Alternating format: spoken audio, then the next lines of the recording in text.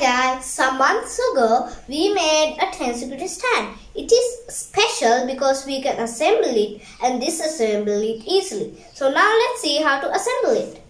This is the top part. It has a 3D design in the middle and at the back we epoxy glued some nuts so we can screw in the connecting arms and the cables. This is the bottom part. We fixed a cable here and we made a cable head for the cable so the screw won't slide away and we attached another nut here to attach the connecting arm. These are the connecting arms. We attached a cable and attached another screw here and attached a screw here too.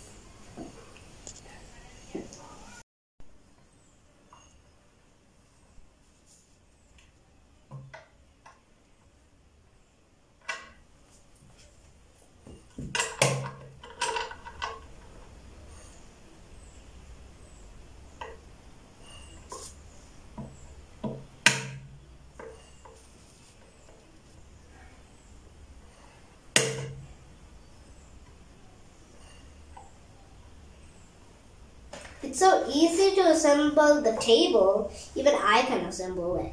So if you guys like our table, don't forget to hit the thumbs up and subscribe and hit the bell button. Bye guys!